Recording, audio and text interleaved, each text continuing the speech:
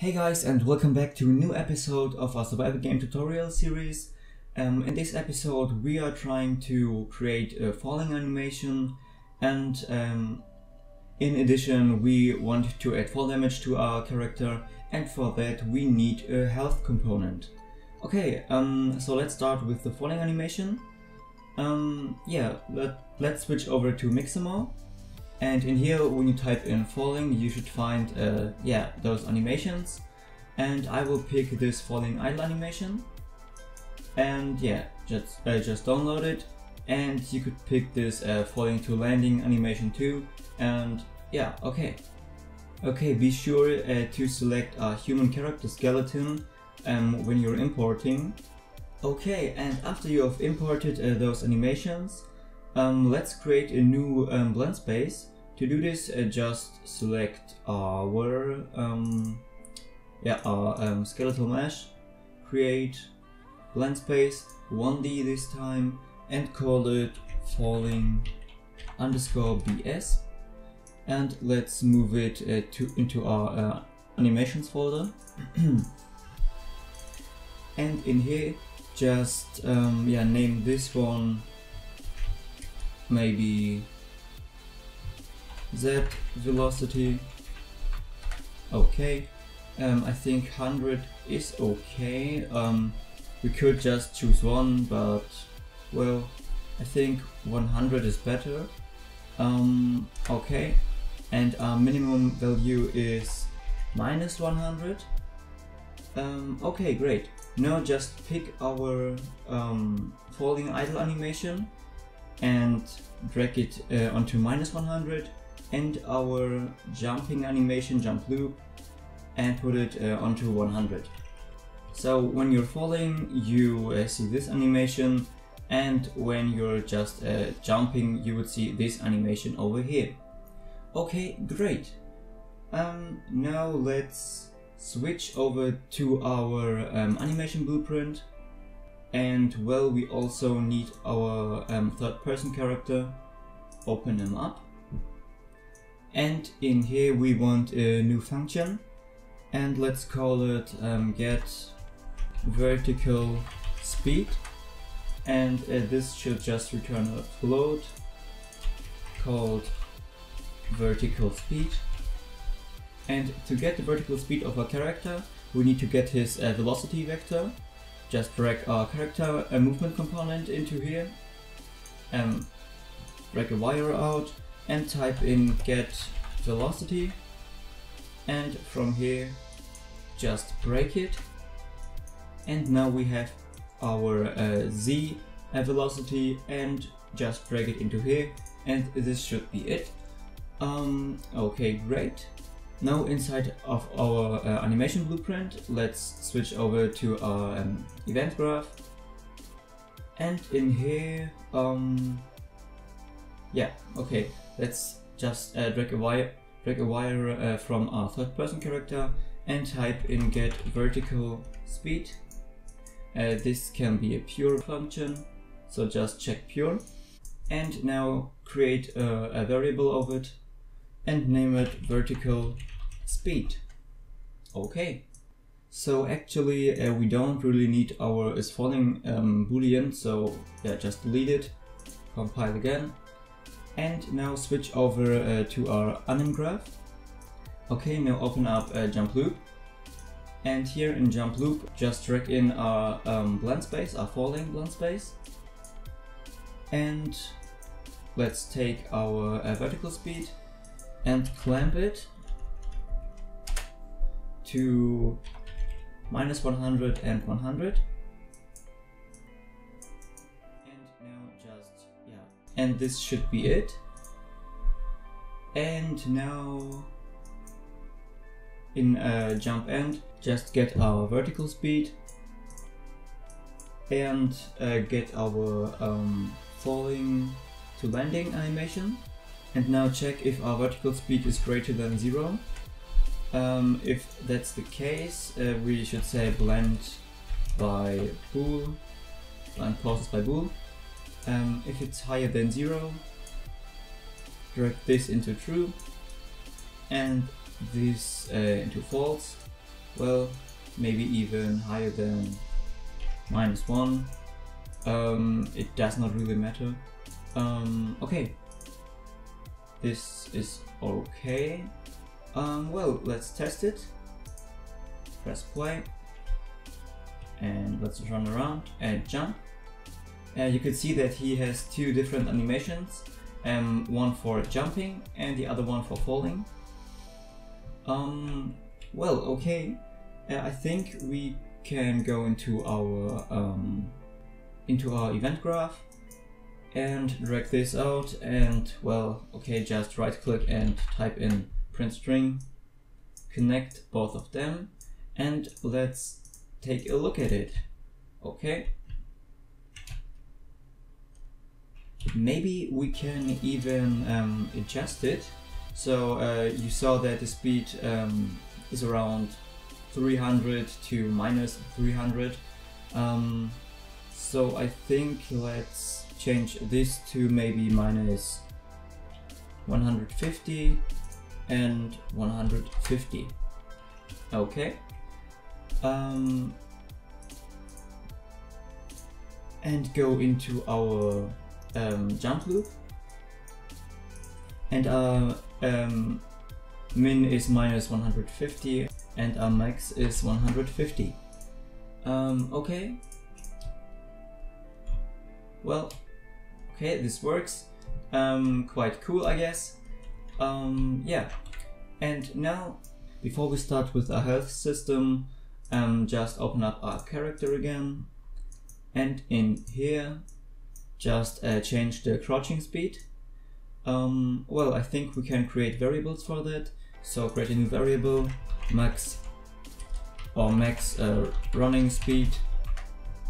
That's a float and with Control W you can duplicate it and name it max um, crouching speed.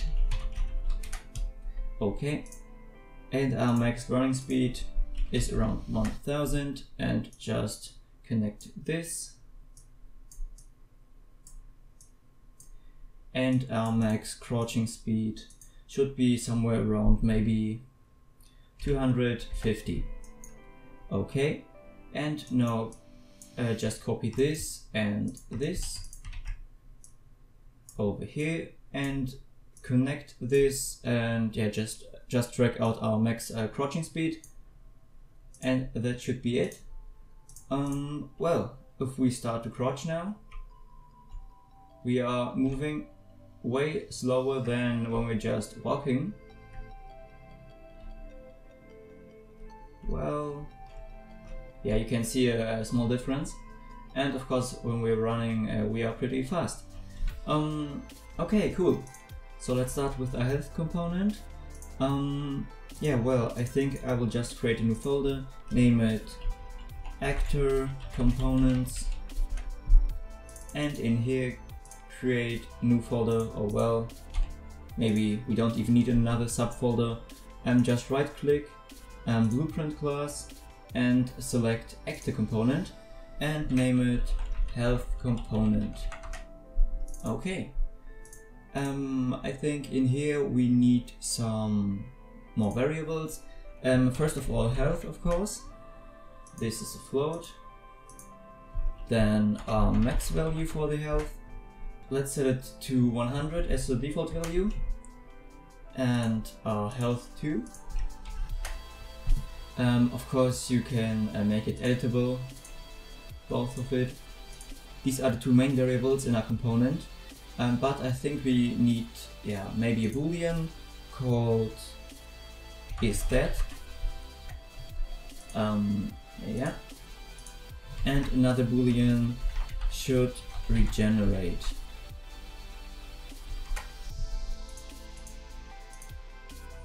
And maybe even another float called uh, regenerate or just regen um, rate.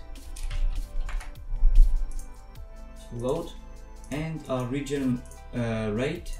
Um, if our regen rate would be a 1, we would regenerate a 1 health point uh, every single second.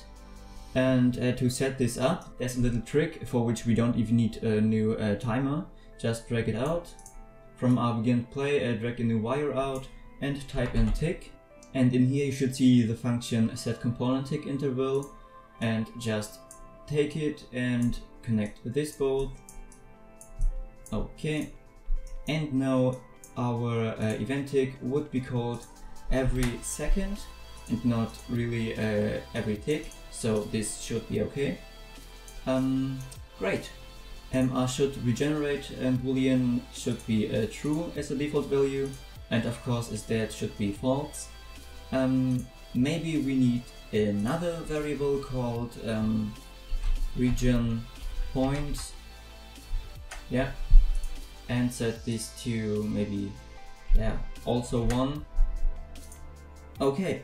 And now we need some functions. Uh, for example add health. So just type in add health. And as an input we need uh, a float and call this one um, additional health maybe. And drag out our normal health component get it. And with uh, alt and left click you can just drag it out and you have the setter now uh, add those values. Well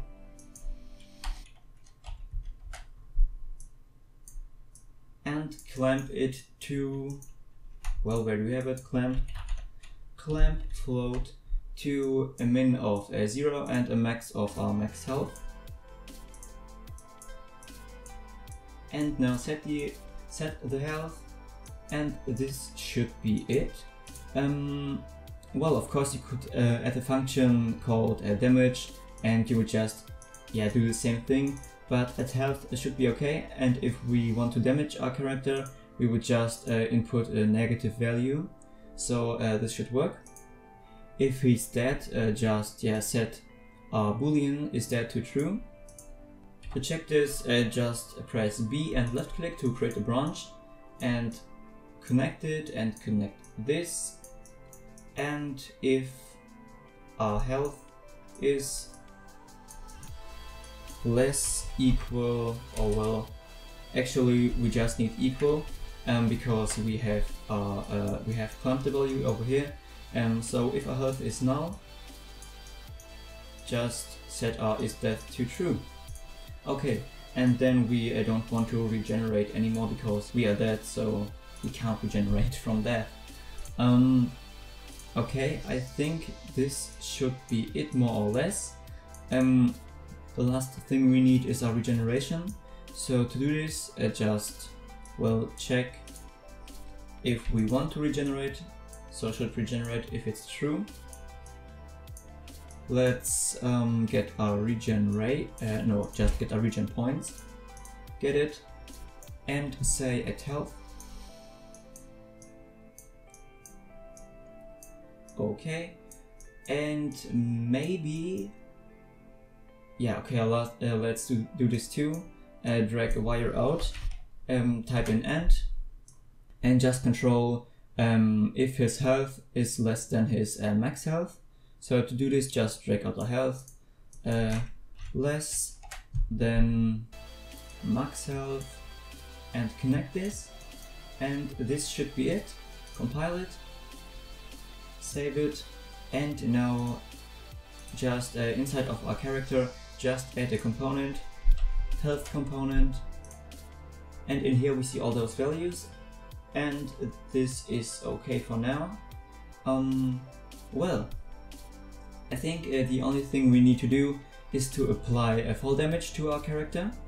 And to do this, uh, open up uh, the event graph, and in here type in damage, event any damage, and if our third person character uh, gets damaged, we want to get his health component and say add health and take the damage and multiply it by minus 1 to make it negative. And drag this into here and well, that should be it for now. Um, for our fall damage, uh, just right click and type in land, event on landed. And from here we want to get his vertical speed. And if his vertical speed, let's say, is greater than um, or well less than um, minus 350, uh, 450. If that's the case, let's apply some damage. Um, and we want to calculate the damage with our um, vertical speed. And let's add um, 450 on that one to make it null. And if it's uh, maybe yeah 500, he would receive 50 damage. Um, yeah, maybe we could even divide this by 2. So now he would receive uh, 25 damage and I think that's okay. Just say uh, apply damage and uh, the damage actor is self and base damage is this and if that's true um, well that should be it. Maybe we can even say okay print string um, as red something like this. Well more like this. And the string is yeah our damage but yeah the negative value. And now just where's our tick function? Uh, our tick event? I don't know. Do we even have it? I don't think so. Create uh, our tick event then. Event tick. And in here just drag out a wire print string. And where do we have it? Um a health component over here. And get health okay maybe this one in yeah light green. And now just play. We have 100 health points. And if we jump down the problem is we should see a negative value. So uh, yeah a problem is that we have uh, input a negative value here. And in here we will just multiply it by minus 1 again to make it positive. And to fix it just um, yeah divide it by minus 2 and now when we play yeah minus 144 and we could maybe um, yeah, adjust this a little bit to minus 600 and plus 600 and now let's get our event tick and connect this again. And well maybe create new stairs okay. I jump now. We got damage applied and as you see every second we regenerate uh, one health point. point and maybe if you want to change this just go in just go into our third person character. And in here maybe we want to regenerate every second um, just a half health point. Okay so maybe from here okay that was not enough yeah, okay, you could see uh, we got a minus 5 health points and we regenerated just a half a health point every second. Um, maybe jump, let's jump from here. Okay, now we should be that. Uh, as you can see, uh, we don't regenerate anymore, but well, nothing really happens when we are dead, so we will change uh, this in data tutorials. But yeah, the basic health system uh, works for now. Um, if you liked the video, just leave a like and see you guys later.